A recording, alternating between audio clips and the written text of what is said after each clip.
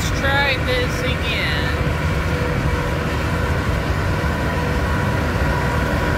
It's a Peterbilt again.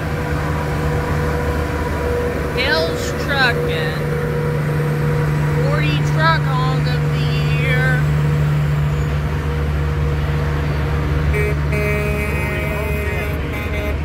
I got a 40 Truck Hog.